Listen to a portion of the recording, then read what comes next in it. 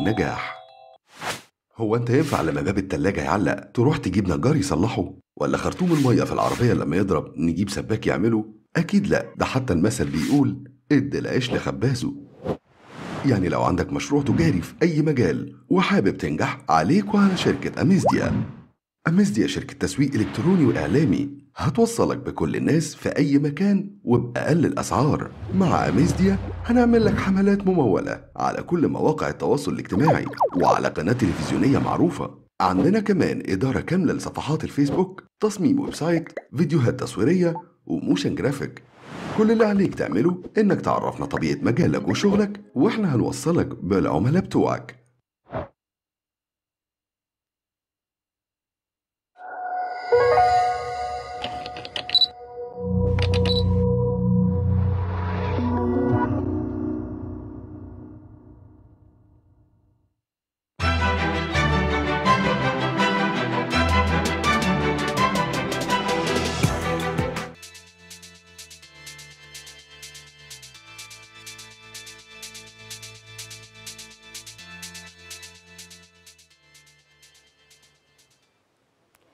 أهلا بيكم في حلقة جديدة من برنامج نجوم على الهواء العدل أساس الملك. بنلاقي المقولة دي مكتوبة جدا على المحاكم والعدل صفة من صفات الذات الإلهية. فما بالك لما يوكل ده للبشر؟ أكيد بتبقى مهمة صعبة جدا على حمل عاتقها أو على اللي بيشيل ال- ال- الحمل بتاع العدل ده. النهارده هيكون ضيفنا وضيفكم حد من الناس اللي موكلين بالعدل في الأرض. محامي شاب لكن عايزة أقول لكم إن هو قدر إن هو يثبت بصماته في مجال المحاماة. لكن قبل ما نتكلم عنه ونرحب عنه في الاستوديو هتسمحوا لنا إن إحنا نطلع لتقرير صغير ونرجع لكم تاني على طول.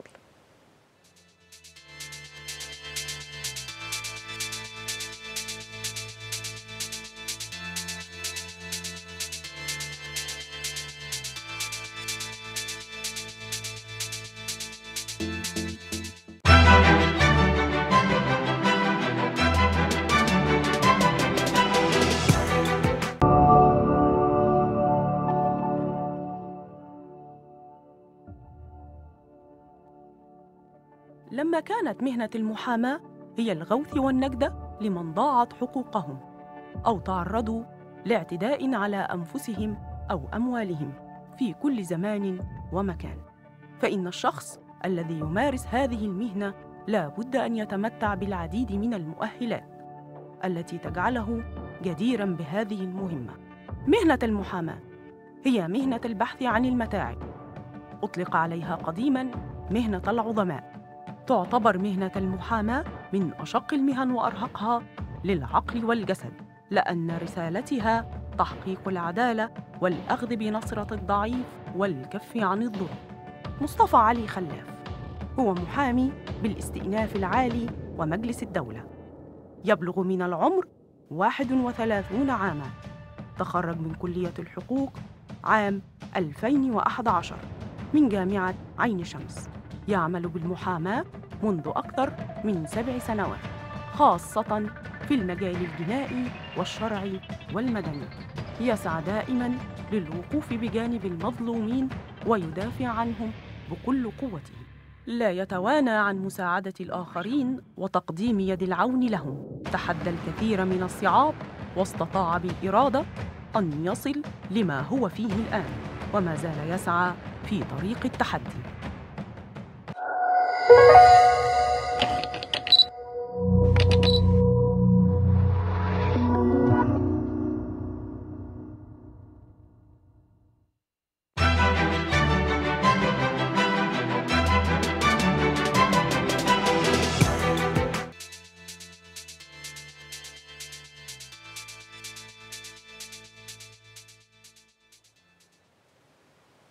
رجعنا لكم تاني بعد الفاصل وبنحب نرحب بضيفنا في الاستوديو الأستاذ مصطفى علي خلاف المحامي بالاستئناف العالي مجلس الدولة. أهلا بك يا أستاذ مصطفى نورتنا النهارده. أهلا وسهلا يا فندم أهلا وسهلا.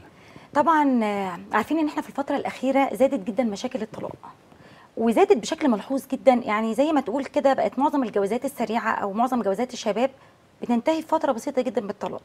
وبقى الطلاق في محاكم الأسرة والمشاكل الخاصة بقضايا النفقة والخلع وكمان الرؤية بالنسبة للأطفال بقت من أهم المشاكل في محكمة الأسرة. فعايزين النهارده كده يعني نفنط كده للناس ما عليهم وما ليهم من آه، الحقوق والواجبات اللي تريح الطرفين. يعني مش معنى إن إحنا كنا على خلاف إن إحنا حقوقنا تضيع أو إن حد ياخد أكتر من حق. فإيه رأيك في موضوع آه، مشاكل بقى محاكم الأسرة اللي طبعا بتقابلك كتير؟ كتير جدا يا فندم. بسم الله الرحمن الرحيم مبدئيا كده. يسعدني ويشرفني إن أنا أكون مع حضرتك في البرنامج. قضايا الطلاق وقضايا الخلع هي بقت من أهم القضايا دلوقتي في ساحات المحاكم. حاليا قضايا الطلاق وقضايا الخلع بقت أكتر من القضايا الجنائية والقضايا المدنية. كثرة قضايا الطلاق وقضايا الخلع بقت ترجع لعدة أسباب كتير ممكن منها عاداتنا وتقاليدنا خاصة آه، آه، ال- المناطق الريفية لسه ملتمسة ولسه بتعتز بالعادات القديمة. مما يجعل عبء على الزوج ومما يجعل آه، الزوجة بيبقى عليها حقوق مش قادرة توفيها. توفيها مع الزوج. ولكن هناك اختلاف كلي وجزئي في حقوق الطلاق وحقوق الخلع. إيه الفرق بقى للزوج بينهم؟ في فرق كبير وناس كتير جدا بتتلخبط في الموضوع ده يا أستاذة ولاء وبنقع فيه في مشاكل كتير كمحامين يعني. الزوجة النهارده لو جاية عايزة ترفع قضية طلاق على زوجها الطلاق له عدة له حقوق تانية وله عدة أسباب دي بنقدر نطرحها أو بنقدر نعرفها من الزوجة إيه مشاكلها اللي جاية. ولكن حقوق الزوجة في الطلاق الزوجة لما بتكسب قضية طلاق أو بنطلقها عن طريق المحكمة لها حقوق شرعية والتي تتمثل في حقوق لها نفقة عدة لها نفقة متعة بتاخدها لها مؤخر صداق اللي هو مسمى في وثيقة الزواج الشرعي. على عكس الخلع. الخلع خالص. غالبا بنلاقي ناس برضو فاهمة إن الخلع إن أنا لما أخلع جوزي هاخد نفس الحقوق. ولكن لا أنا عايزة أقول لك على حاجة. إن المشكلة دلوقتي إن الرجالة لما بيحصل مشاكل بينهم وبين زوجاتهم هو عايزها تلجأ للخلع. هو كده كده في جمال حياتها هيطلق. بس هي لما ترجع للخلع مش هتاخد الحقوق اللي, هيتلازم بيها في الطلاق. وغالبا دلوقتي. ردا على سؤالك كثرة ال- الزوجات بقوا يجوا يلجأوا يخلصوا. للخلع آه ما هم عايزين أنا عايز. أخلص بالظبط أنا سؤال عن يعني أنا. أنا كمحامي أول ما. بتيجي تقول لي أنا عايز أخلع أرفع قضيه خلع يا أستاذ أقول لها طب إيه السبب ما إحنا ممكن نرفع لك طلاق مؤخرك إيه بلاقي مؤخرها مثلا آه، مبلغ كبير 20 30 ألف 50 ألف بقول لها نلجأ للطلاق تقول لي لا أنا عايزه خلع في حين إن الخلع ده بتبري ذمتها من من مؤخر ومتعة وعدة. ولكن في استفسار بسيط أو توضيح بسيط خارج عن موضوعنا سواء خلع أو طلاق الزوجة لها حق قائمة المنقولات وده بيقع فيه ناس كتير أو برضه خطأ بيقع فيه ناس طب ما في ناس بتبدل بقى قائمة المنقولات وبنخش في مشكلة تبديد القايمة. التبديد القايمة. مم. في ناس بقى ردا على سؤالك اللي سألتيه من شوية كده في زوجة بتقول أنا هاجي أرفع قضية خلع وهتنازل عن نفقة وعدة ومتعة مقابل إن أنا لما آخد حكم في قايمه المنقولات حكم حبس هعرف هحل مع زوجي بكده. إن أنا أتنازل عن المحضر أتنازل عن القضية بشرط إن أنا آخد حقوق. بالظبط. أنا عارفة يا أستاذ إن أنا هتنازل في آه، آه، حقوق آه، حقوق الشرعية في قضية الخلع ولكن آه، أنا هعرف آخدها من قايمه المنقولات ده الفرق بين الطلاق والخلع. إن الطلاق نرجع تاني ونقول إن الطلاق الزوجة بتاخد حقوقها الشرعية ما بين نفقه عدة ومتعة ومؤخر طب الصداق ليه السيدات بتلجأ للخلع علشان هو أسهل وأسرع من الطلاق؟ آه الخلع أسرع إجراءات من الطلاق والخلع من دعاوي الدعاوي اللي في قانون الأحوال الشخصية إن ما فيهاش استئناف إن الزوج ما يقدرش يستأنفها. ولكن الطلاق النهارده خليني أنا كمحامي زوجة كسبت قضيتي في أول درجة محكمة الأسرة أول درجة. من حق الزوج إن هو يستأنف الحكم بتاعي فبتاخد درجات درجة تقاضي دي درجة تقاضي من حق الزوج بتاخد فترة أطول. ولو لو لم يكن مثلا بتبقى زي الدرجة الأولى. يعني مثلا لو قعدت لي 3 4 شهور أو 5 شهور في الدرجة الأولى وكسبت قضية الطلاق من حق الزوج إن هو بيستأنف ده حق له ودرجة تقاضي مشروعة له.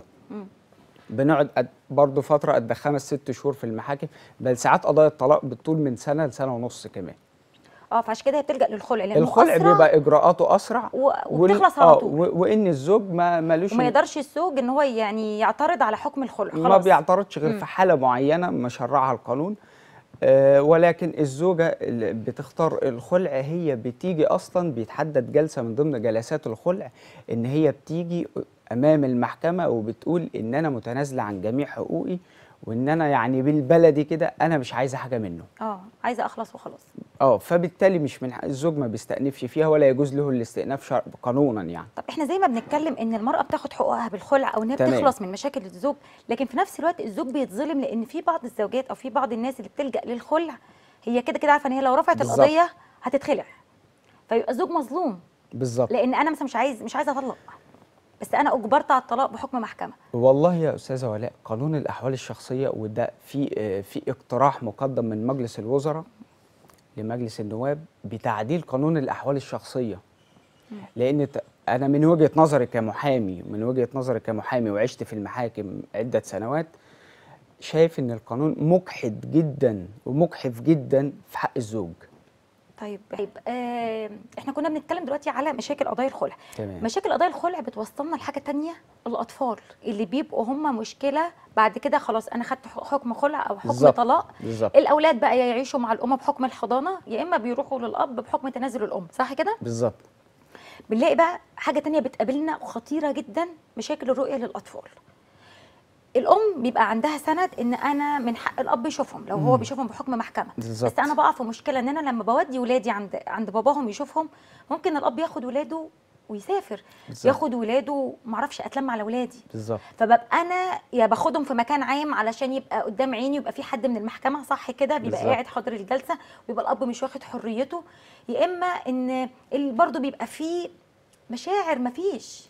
أنا جاي بزور حد رسمي ما ببقاش عارفة آخد حريتي معاه. الحل ده نحله إزاي؟ يعني بيبقى في مشاكل الأبهات مش عارفين ياخدوا حقوقهم والأمهات في نفس الوقت. بنقابل المشاكل دي يا أستاذة ولاء كتير جدا. وهنيجي لمنطقة الرؤية في القانون ال- ال- قانون الأحوال الشخصية اللي حددها القانون. لسه قبل ما نطلع فاصل كنت بقول لك إن قانون الأحوال الشخصية مجحف ومجحد جدا في حق الزوج ومن ضمن ال- ال- ال- التقصير المقصر في قانون الأحوال الشخصية منطقة الرؤية دي بالذات اللي إحنا جينا فيها دي. الرؤية هل تعلمي إن الزوج بعد أن يرفع دعوى رؤية تستمر في المحاكم من ثلاث شهور لأربع شهور عشان ياخد حكم وصيغة تنفيذية والكلام من ده وتقعد الإجراءات دي؟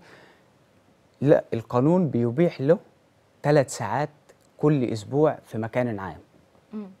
يعني مرة واحدة في الأسبوع ثلاث ساعات. ثلاث ساعات. ويكون في مكان عام. في مكان عام آه. وبيحضر الجلسة اللي هو إيه أحد المقيمين في المكان العام اللي إحنا اللي بنعلنه إحنا المحكمة أو اللي هم واللي إحنا. بنعلنه. كمحامين. هنيجي نقول حق الزوجة طب أنا أنا أنا مثلا ك ك كزوجة خايفة أودي ابني لجوزي يخطفه آه، كيد أو عند فيا عشان أنا شكياه وده حصل واخد- كتير يعني بيحصل كتير جدا. كتير جدا بيحصل كتير. إحنا بنبقى قاعدين آه ببقى قاعد قالوا يا أستاذ أنا كنت بودي أنا ابني النهارده رؤيته وابوه خده وخرج قال لي هجيب له حاجة مثلا من هنا أو وياخده وما يجيش. لا برضو القانون ما سابش حاجة إلا ونظمها وقننها يعني. هو من حق الزوج إن هو يشوف أولاده الصغار ثلاث ساعات في الأسبوع مرة واحدة يوميا. طب في حالة لو الزوج خد أولاده ومشي غالبا برضو كنا يعني بنختلف برضو فيها بعض محامين ولكن القانون جزمها. جزمها جزمها في قانون العقوبات مادة 92 292 المادة 292 في قانون العقوبات. طيب إحنا النهارده قال لك مجمل المادة إن أي من الوالدين اللي هو يخطف ابن أو ابنة من من الطرف الثاني من الطرف الثاني اللي هو له الحضانة بيعاقب النهارده بالحبس مدة بتوصل لحد سنة. مدة العقوبة أقصى عقوبة في المادة دي سنة. وبتتنفذ هو ده النقطة بقى. مم. إحنا كمحامي أنا لما بعمل إجرائي وبرفع بطبق عليه المادة دي وبتهمه إن هو خطف الأولاد هنا المحكمة بتلعب دور العاطفة وبيبقى ليه ولكن في في هناك لأن المسائل القانونية دي والمسائل دي بتبقى تقديرية للمحكمة. فالمحكمة بتقول لك يعني أنا مش معقول ده أب أب ولاده. ومحروم من. ابنه أو ومع لما نيجي نبص للناحية التانية نلاقي إن الزوجة مثلا بقالها يجي خمس ست شهور ولا شهر ولا شهرين ما ودتش الولاد يشوفوا باباه آه. فبتيجي المسألة التقديرية للمحكمة غالبا بتبقى في صف الزوج ولكن القانون قننها. يعني القانون طب أنا عايز أقول لك على حاجة بقى. آه. هل لو هو اتحكم عليه بسنة وهو هرب السنة دي مثلا أو ما ما اتطبقش عليه السنة دي بتسقط بعد السنة ولا بتفضل لحد برضه ما يتمسك ويقضي العقوبة لا هو خد عقوبة سنة يبقى إحنا كده تحولنا من قانون أحوال شخصية لقانون جنائي. خد عقوبة اللي هو قننها قانون العقوبات سنة أو 24 ساعة أو شهر أو أو أو حتة السقوط دي منطقة تانية أو إن هي- الانقضاء دي منطقة تانية ده قانون إجراءات جنائية. دي بتنطبق يعني هي آه. كده كده حتى لو هو سافر ورجع بعد خمس سنين السنة هي- هياخدها هياخدها. آه، آه، حتة ال- ال- الانقضاء والسقوط دي بقى يعني موضوع كبير جدا في قانون الإجراءات الجنائية. قننته الماده آه، 17 و15 و528 من الإجراءات الجنائية. ان أنا لو عليا حكم جنائي النهارده غيابيا غيابيا وقعدت ثلاث سنين ما اتخذتش فيه ما تمش فيه اتخاذ أي إج- إجراء قانوني نحو هذا الحكم بينقضي بينقضي بقوة القانون. طيب هل قدام قضية الخلع ممكن الزوج يرفع قضية طاعة؟ يبقى قضية قدام قضية؟ لا هنا أنا النهارده هو من حق الزوج الزوج من من ضمن الحقوق اللي له في قانون أحوال الأسرة إنه يطلب الزوجة في بيت الطاعة؟ هل بعد ما رفعت الخلع ولا قبل؟ لا قبل ما ترفع الخلع. ولو هو خد حكم يبقى هي كده الخلع بتاعها بطل. بالظبط. لازم تقضي حكم الطاعة؟ لا هي لما بيرفع لما بترفع لما بيطلب زوجته في بيت الطاعة هي من حقها تعترض. مم. من حقها تعترض. من حق حتى لو مش هتطبق الحكم. من حقها تعترض لازم تعترض عليه. لازم. ولكن إحنا الخلع ما هو أنا الطاعة أنا كزوج أنا بعمل الطاعة ليه؟ أنا بطلبها في بيت الطاعة عشان هي تعترض عليه. طب أنا لو كسبت الطاعة وطلع لي حكم إن المحكمة حكمت لي بطاعة زوجتي ليا و- والزوجة ما أجابتش وخسرت الاعتراض بتاعها أصبحت الزوجة ناشز. من ضمن يعني في هذا الوقت يعني لما نلف هنلاقيها هي دايرة مقفولة. طب النشوز هنا نشوز الزوجة يعني سقوط حقوقها الشرعية اللي إحنا قلناها. فأنا كزوجة كده رفعت كده خلع رفعت خلع فكده كده ما فيش حقوق. فكده كده أنا آه. مش عايزة حقوقي الشرعية آه. مم. فأنت رفعت طاعة ف... ف... طلبتني في بيت الطاعة وأنا رافع عليك دعوة خلع فأنا النهارده واجب قانوني إن أنا ممكن أعترض عليها. وأوجه للمحكمة إن أنا النهارده رافع دعوة خلع كمحامي زوجة وأنا متنازل عنها ومش عايزاه. طيب إحنا بنقابل بقى مشك... مشكلة تانية يا أستاذ مصطفى. أنا كزوجة خدت حكم محكمة بإن تمام. الزوج هيديني نفقتي والمؤخر بتاعي بس ده بقى فعليا ما بيطبقش. ليه؟ برضو مش هقول لك يعني في محامين بيتلاعبوا في الأوراق القانونية كدخل الزوج مثلا هو بيكسب 10 لا أنا الأوراق اللي قدمتها إنه بيكسب 2 امم فأنا كده نفقتي أنا بقت قليلة جدا بالنسبة لمصاريفي ومصاريف الأولاد. بالظبط. فأنا اتظلمت. طيب بنيجي بنسبة تقدير النفقة. تقدير النفقة عندنا هنا نوعين. لما أجي أنا كزوجة محامي زوجة أو وكيل عن زوجة برفع نفقة للزوجة. الزوج ده أول حاجة أنا بسألها زوجك إيه؟ لو موظف حكومي أو موظف في جهة قطاع خاص أو أو موظف في جهة معلومة أنا باخد من المحكمة ب- بد- آه ببدأ مرتبه أقول عندي إن. إن الفلان الفلاني ده أو الشخص ده يشغل منصب كذا أو كذا وبيعمل موظف في في المنطقة الفلانية. ببدأ أخد من المحكمة ما هو يفيد تصريح من المحكمة أروح أجيب مفردات مرتبة. دي ما فيهاش أي تلاعب. ولكن نيجي على الجهة الأخرى اللي بيحصل فيها تلاعب. أصحاب الأعمال الحرة يعني مثلا لما تيجي بيعمل مثلا أي مهنة حرة ده سائق ده ده عنده محلات ده ده ده النوعيات الك- الكتيرة دي ببدأ أنا كمحامي عشان أحدد دخله أو أقدر دخله بلجأ لمباحث تحريات مباحث الشرطة. من هنا بيبدأ التلاعب. من هنا بيبدأ التلاعب. إن أنا ممكن بقى إن أنا أقول المفردات دخلي آه أنا بقى ما طيب، أنا أرزقي على باب الله زي ما بيقولوا كده. أنا أنا كمحامي أنا أنا كمحامي مثلا زوج مثلا خليني زوج مش زوجة. ولقيت محامي الزوجة جايب مثلا مفردات. ساعات بنشوف في في ال- في المحاكم حاجات كده يعني أرقام أرقام مهولة يعني. ويبقى الراجل آه، عامل بالأجر اليومي. والاقي مثلا مح... مثلا 7000 جنيه محامي. الزوجة آه جاي مثلا جايب دخل أتفاجئ بيه في الجلسه ولا كده إن جايب 7000 جنيه و5000 جنيه و10000 جنيه و20000 جنيه. في حين إن أنا الزوج بتاعي بيبقى مثلا عامل بالأجر اليومي يعني مثلا ممكن يكون سواق أو معاه يعني أي أو عنده محل آه. 3000 جنيه في الشهر. أنا من حقي من حقي كمحامي زوج بطعن على التحري بالطرق القانونية. ومن حق المحكمة بتقبل وبتقدر المسألة دي. وبيبقى ساعتها بقى في تقدير كده؟ آه بيبقى في تقدير. أنا بطعن وبوجه للمحكمة بس مش بطعن شفهية لا لا زي ما أطعن بالمستندات. يعني أنا بقول لا الدخل ده كتير على الموكل بتاعي. التقدير هيبقى كتير على الموكل بتاعي. ولكن هنيجي للمسألة ال- ال- الأخيرة اللي هي التقدير النهائي ده بيرجع للمحكمة. هنفترض إن أنا جبت إن ال- ال- الشخص ده موظف ومرتبه 3000 جنيه 4000 جنيه. ما ده المفردات اللي جاية للمحكمة. هنا التقدير بقى بيرجع للمحكمة. طب هي بتتحسب. النسبة إزاي هي مش نسبة مم. هي مش نسبة لأن إحنا حاليا في المحاكم بنشوف يعني حاجات هل برضه المحكمة مثلا بت بت بتشوف مثلا عمر الأطفال في مراحل تعليمية كذا هي بتتحسب كده آه. حسب احتياج الطفل مم. يعني مثلا الطفل اللي عنده سنة مش هيبقى نفقته زي اللي عنده خمس سنين مش هيبقى نفقته زي اللي في في الابتدائي وبيدرس مم. مثلا وعليه الدروس وعنده مدرسة خاصة أو مدرسة حكومية مش هيبقى زي الإعدادي مش هتبقى زي البنت اللي في كلية آه فهو ال- المحكمة بتاخد آه. ده تقديريا؟ آه تقديريا لسن الطفل. تمام. طيب إيه أغرب قضية جات لك أو حسيت فيها إن أنت مش عارف تبقى مع الأب ولا الام لا كتير. مم. كتير. يعني أنا آه، دي رسالة لكل محامي يعني. آه نختم بيها بقى لأن آه إحنا لا. خلاص تقريبا آه رسالة الحلقة. لكل محامي. رسالة لكل محامي يعني. المحاماة رسالة في الأول وفي الآخر مش مهنة. المحاماة رسالة. ولازم نوصل الرسالة دي لل- لل- لل- للجمهور بطريقة سليمة خاصة إن الجمهور واخد فكرة عن المحامين صعبة جدا ولكن المحاماة من أنزه وأرقى ال- ال- المهن وأصعب المهن. وهي رسالة جميلة. فأنا لما بيجي لي بيتعرض عليا قضايا كتير أنا بلجأ للحل الودي وربنا بيقويني فيها. مم. بلجأ للحل الحل الودي كتير وبأجهد فيه أكتر من المحكمة. آه عشان أنت تحاول تصفي آه. الطرفين ما يبقاش في خاطر فيه أكتر من يعني. المحكمة. قضايا غريبة جدا. يعني ممكن ساعات أنا غالبا مثلا من فترة كده بتبقى جاية لي الزوجة عايزة حقوقها وقعدت معايا. فببدأ أتكلم معاها ألاقي زوجها يعني برضو على قده آه يعني. على قده والدنيا جت عليه غصب عنه. وهي ليها احتياجاتها. يعني هي كمان برضو ليها احتياجاتها. بقدر أستأذنها بستأذنها عشان ما يبقاش خيانة للوكالة. بستأذنها. بعد سماحها ليا بالاستئذان وإن هي تسمح لي بقدر أقعد مع زوجها أتكلم معاه أوفق. ربنا بيكرمني أنا يمكن كسبت قضايا ودية أكتر من اللي كسبتها في المحاكم. جزاك الله خير آه والله لأن والله. إحنا في الأول والاخر مش عايزين نخرب البيوت. لا طبعا لأن السبب كده، الأطفال يعني عشان هي الأطفال طبعا. الأطفال هي اللي بتعاني هو ده يعني ده ده اللي بيخلي الواحد بيجهد على قد ما يقدر. وربنا بينولنا خير في الآخر يعني.